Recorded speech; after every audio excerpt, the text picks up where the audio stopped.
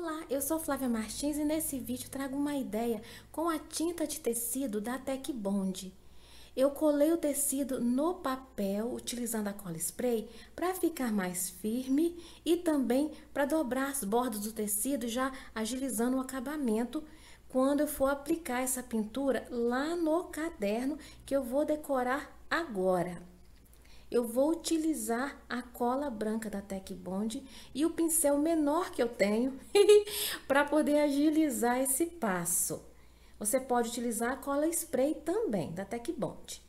E aí eu colo a pintura aí na parte da frente do caderno e com esse trançadinho de barbante eu fiz aí o acabamento final. Deixe o seu like, seu comentário e compartilhe com as amigas.